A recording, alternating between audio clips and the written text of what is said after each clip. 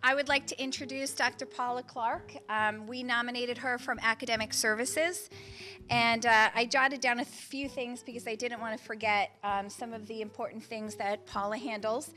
Um, first of all, she stepped into a new role this year in academic services and, and was very busy um, from the start with organizing um, the PD department and our Title II funds and so on and so forth in a very systematic way.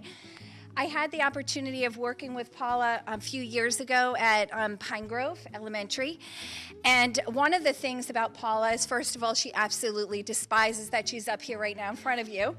Um, it's not her thing, um, but she is definitely a behind the scenes um, worker and uh, takes charge and, and does all those things without being asked. Um, she has definitely taken responsibility and organized our Title II funds and all of the mandates that come down from the state in regards to professional development. And she definitely prioritizes all of those tasks to get all of those things accomplished.